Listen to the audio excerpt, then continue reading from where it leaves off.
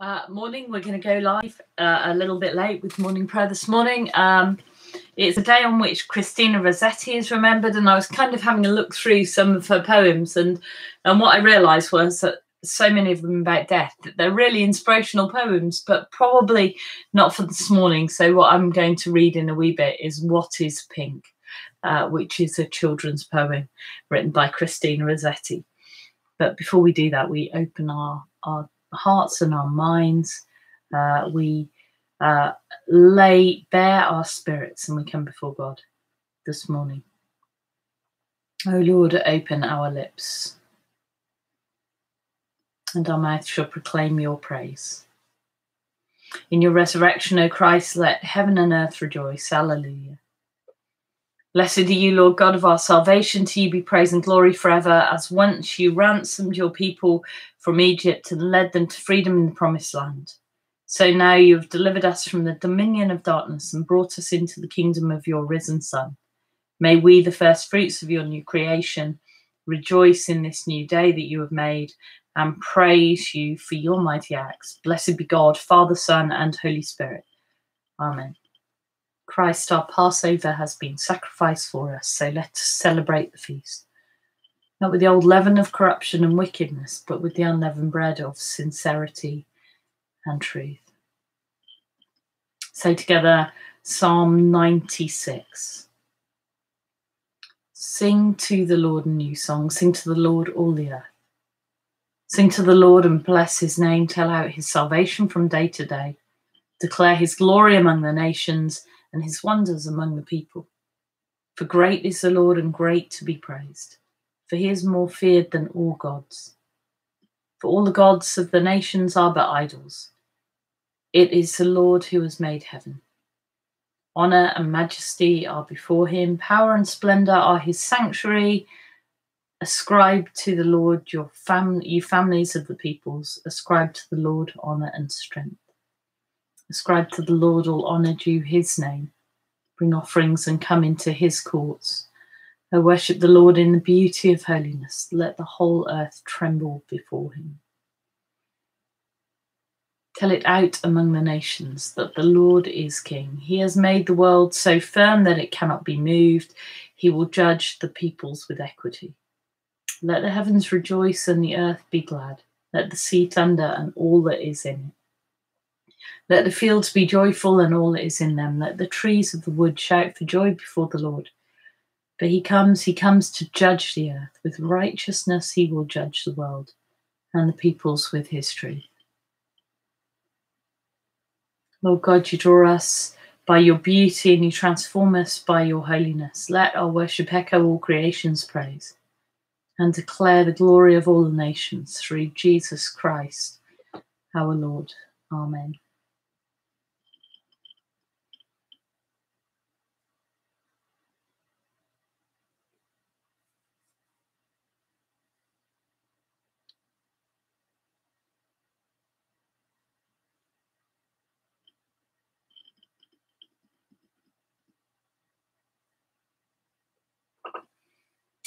First readings from Exodus 19. At the third new moon, after the Israelites had gone out of the land of Egypt on the very day, they came to the wilderness of Sinai.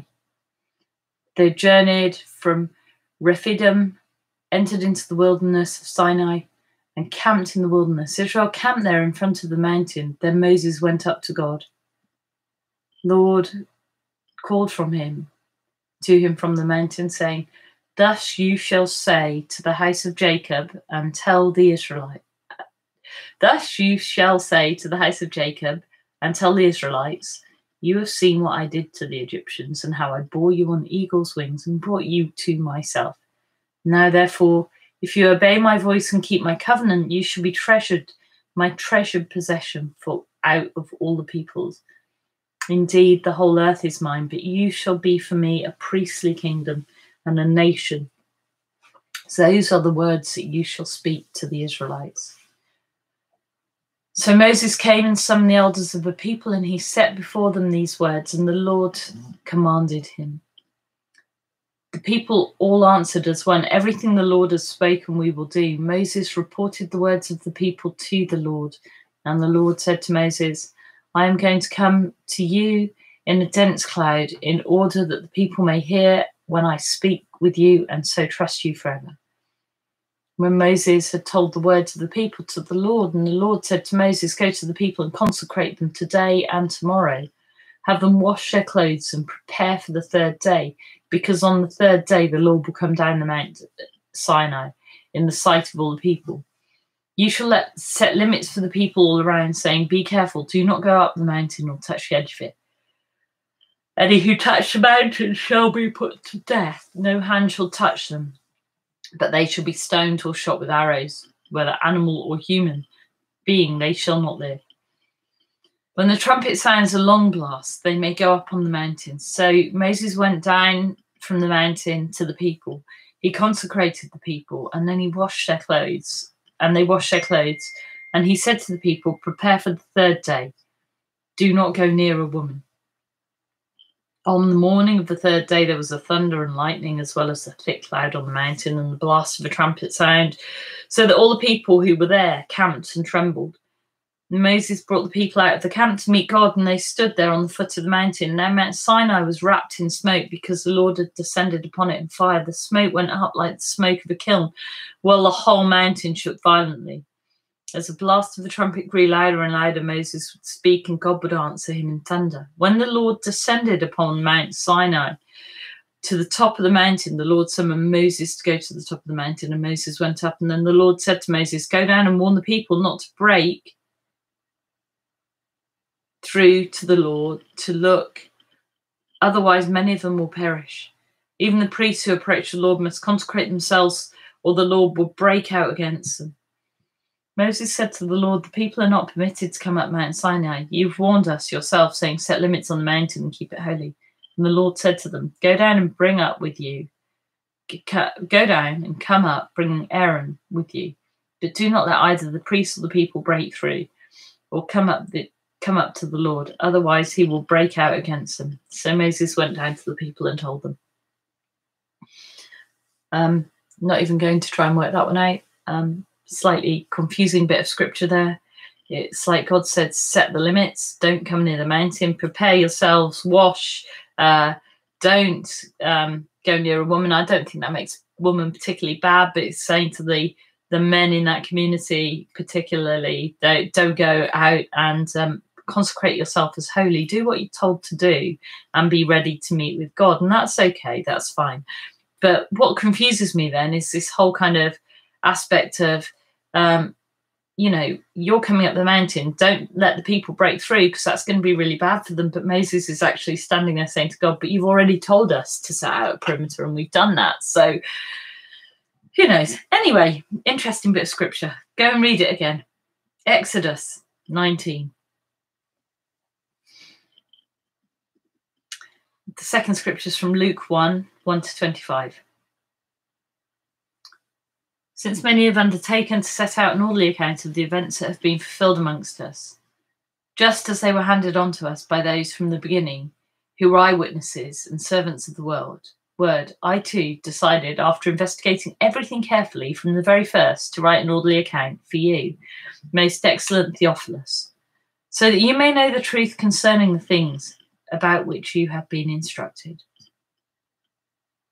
In the days of Herod, king of Judah, there was a priest named Zechariah, and he belonged to the priestly order of Abijah, and his wife was a descendant of Aaron, and her name was Elizabeth. Both of them were righteous before God, living blamelessly according to commandments and regulations of the Lord. But they had no children because Elizabeth was barren and they were both getting on in years. Once, when he was serving as a priest before God, his section was on duty. He was chosen by lot, according to the custom of the priesthood, to enter into the sanctuary of the Lord to offer incense. Now, at the time of the incense offering, the whole assembly of the people was praying outside. Then there were, appeared to him an angel of the Lord standing at the right side of the altar of incense. When Zechariah saw him, he was terrified, and fear overwhelmed him. But the angel said to him, Do not be afraid, Zechariah, for your prayer has been heard. Your wife Elizabeth uh, will have a child.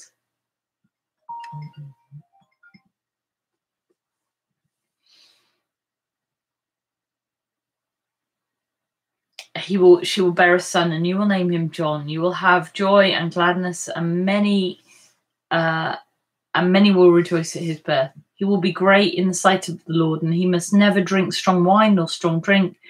Even before his birth, he will be filled with the Holy Spirit, and he will turn many of the people of Israel to the Lord their God. With the spirit and the power of Elijah, he will go before him to turn the hearts of parents to their children and the obedient to turn the hearts of parents to their children and the disobedient to the wisdom of the righteous to make ready the people prepared for the Lord.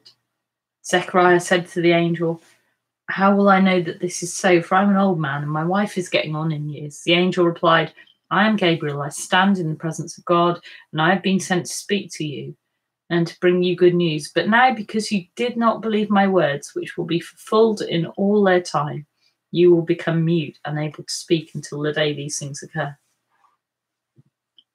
Meanwhile, the people were waiting for Zechariah and wondered about his delay in the sanctuary. And when he did not come out, he could not speak with them. And they realized he'd seen a vision in the sanctuary. He kept motioning to them and remained unable to speak.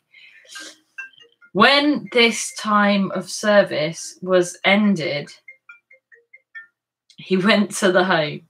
After those days, his, his wife Elizabeth conceived, and for five months she remained in seclusion. She said, This is what the Lord has done for me when he looked favourably on me and took away the disgrace I have endured amongst my people. And these are the words that Zechariah spoke as he came out of uh, that time of silence. Blessed be the Lord, the God of Israel, who has come to his people and set them free. He has raised up for us a mighty Saviour, born of the house of his servant David. Through his holy prophets, God promised of old to save us from our enemies, from the hands of all that hate us, to show mercy to our ancestors and to remember his holy covenant. This was the oath God swore to our father Abraham to set us free from the hands of our enemies, free to worship him without fear, holy and righteous in his sight all the days of our life. A new child shall be called the prophet of the Most High, for you will go before the Lord to prepare his way, to give his people knowledge of salvation by the forgiveness of their sins in the tender compassion of our God, the dawn from on high shall break upon us, to shine on those who dwell in darkness and the shadow of death, and to guide our feet into the way of peace. Glory to the Father, and to the Son, and to the Holy Spirit, as it was in the beginning, is now, and shall be forever. Amen.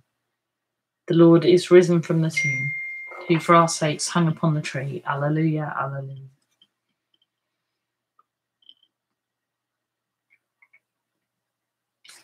Um, I know that's a, a child because otherwise my phone wouldn't get broken through in a ring. Um, I know that's Martha calling for help with her homework, but we're going to pray um, before I go back.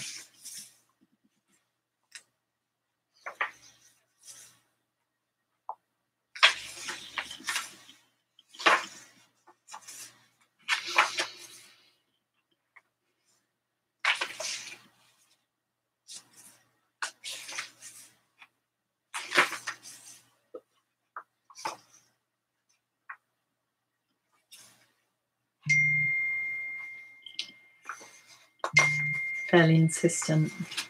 Just reflecting on that that reading uh, that line in Luke, uh, which says, "Parents, go and be with your children," and um, and thinking of that.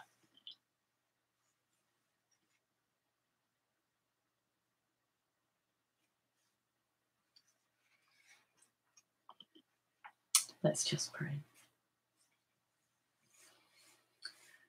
Lord Jesus, who will we bless this day? Because we have enabled them to come into the presence of God. Who will we gather at the feet of Jesus for healing and comfort? Who are those who are going through the ordeals of life?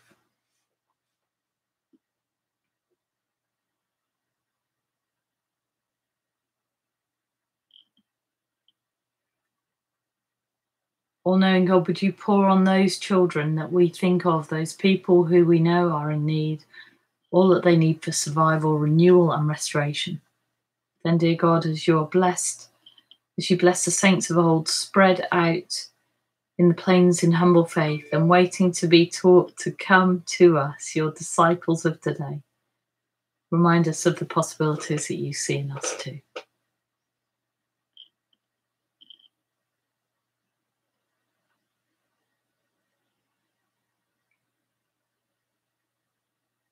Speak to each one of us in the depth of our souls and tell us what you have seen to bless her.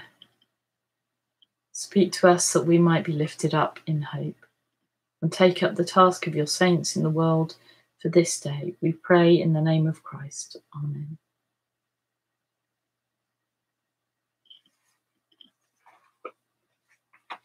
Lord, those prayers, but also uh, the things that are on our heart. We ask that you would hear and, and um, you know, take into your presence. To remind us that there is no perimeter now, there is no uh, fence between us and your holy mountain. Remember that, remind us that there is no sanctuary through which we have to pass, no holy of holies, but we can come into your presence daily uh, to be renewed in our hearts and our minds and our spirits.